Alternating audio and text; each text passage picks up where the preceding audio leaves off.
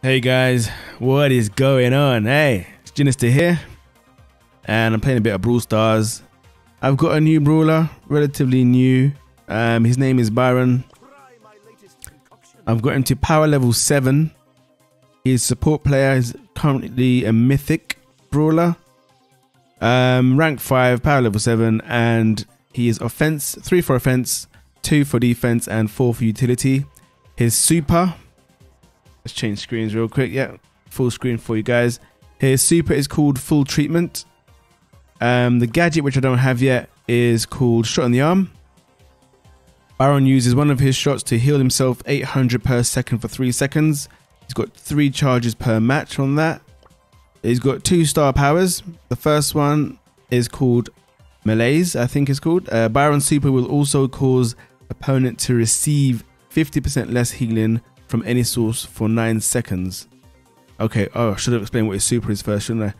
So his super, he throws a vial that heals friendlies and damages opponents. His health is 3120, movement speed is normal. Damage or heal is 494, his range is very long, his reload speed is very fast. So let's go back to the star powers. So his super will also cause opponents to receive 50% less healing from any source for 9 seconds. And his other star power is called Injection. So every 3.5 seconds, the next basic attack will pierce through targets. So it seems quite powerful. Um, I've played him a few times. I do like him.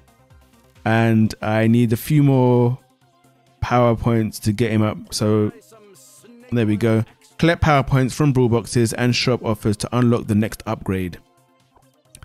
He is on level 7, power level 7, which means there is a chance that I can get the shot in the arm from a brawl box. So I'm hoping I can do that soon. Um, yeah, let's play a match with him and see how we go. So we've got choices of matches. We've got gem grab. Let's try a brawl ball. Brawl Ball, the aim of the game is to score two goals. The first to score two goals wins. Um, so on my team, I have another healer called Poco, and we've got Nita. So if I hit him there, it ticks down. It does. I, I forgot to say it does dot damage, guys. Dot damage. So one hit. Oh, can I score? Can I score? And it's in. JinisterX.tv has scored. so the damage that he does stacks. So one hit and it ticks three times. The two, the 494 damage. And we've just destroyed them just now. Let's see if we can score again. And that'll be the, oh no, no, he's coming in with a super. That was Colt with his super just then. Let's see if I can get past. Yeah, oh, I've scored twice. the match is over. We have won. The star player of the match is Nita.